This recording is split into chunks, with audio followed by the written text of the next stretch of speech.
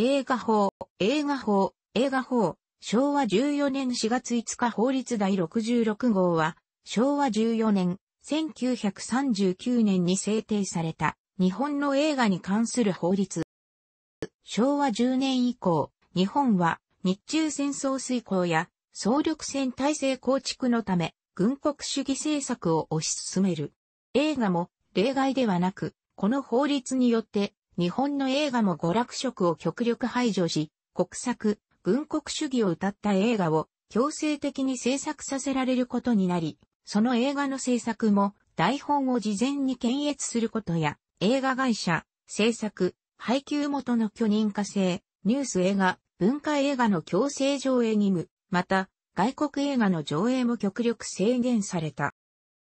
前身は、明治24年、1891年の見物場取締規則、警察令、第15号や大正6年、1917年の活動写島工業取締規則、警視庁令、第12号、これにすでに、フィルムの検閲の語句がある。他に、大正10年、1921年の工業物及び工業取締規則、警視庁令、第15号、大正14年、1925年の映画、フィルム検閲規則、内務省令などがある。本法は前年昭和13年に交付され、翌昭和14年に施行されて、一次映画界に強行をきたした。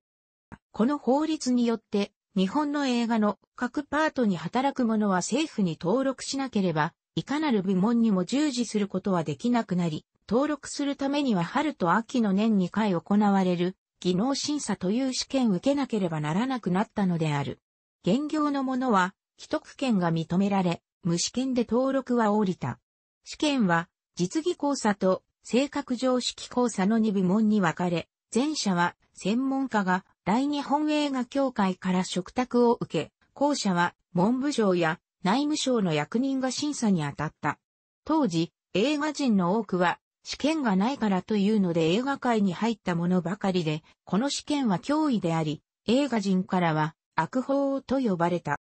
この映画法は昭和20年、1945年12月26日に廃止されている。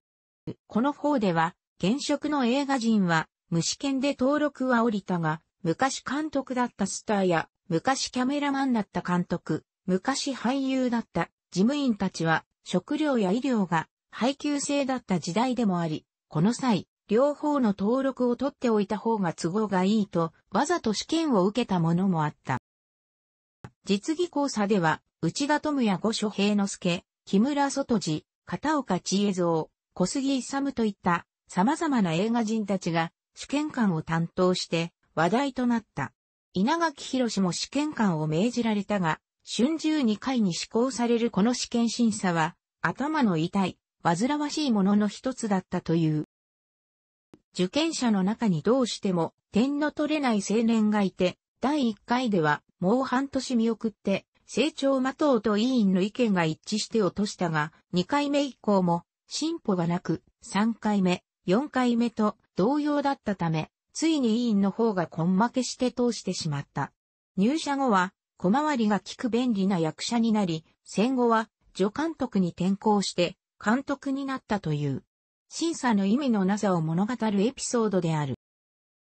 小型映画も登録対象であり、稲垣ら映画人が作品審査を行った。多くの中、抜群と言える作品は一つあり、これほどの作品を作る男を地方の片隅に渦漏らしておくのは国家の損失と早速呼び寄せたところ、その男は精神異常に近い映画教で保護者なしでよく試験場まで出てこられたという大変な人物だった。稲垣は委員をやったおかげで天才と狂人が紙一重だという実物を見せてもらった一幕だったと語っている。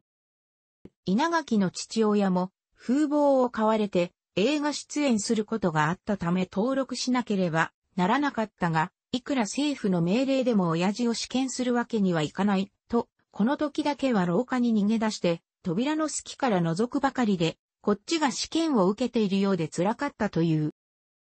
中村鴈治郎、中村千尺も試験を受けなければならなかった。委員たちは交差の人員を書いた用紙を見た途端に、うわ、今日は大物がいるぞと頭を抱え込んだ。名に使用性駒屋に実技試験をやらせるわけにもいかぬし、縁にならこっちが教えられる方だ。ついでだから川省の一節でもやってもらおうか、などと話題はここに集まったが、結局、顔を見せていただくだけにしようと、意見がまとまった。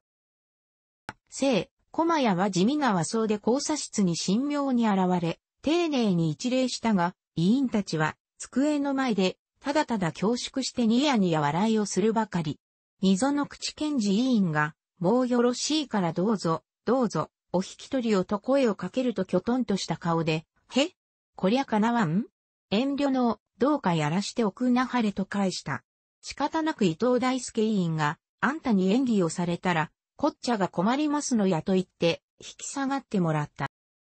映画法受験者のために、大日本映画協会が企画出版した入門指導書。挿絵は、詐欺富を。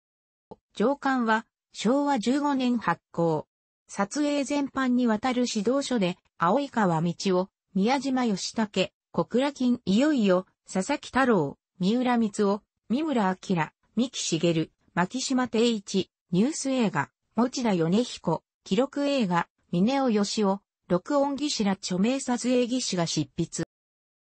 下巻は昭和16年2月15日発行。技術関連で、岩渕喜一、特殊撮影、つぶらや英二、特殊技術、大石育夫、千賀と漫画映画、島崎清彦、編集らが執筆した。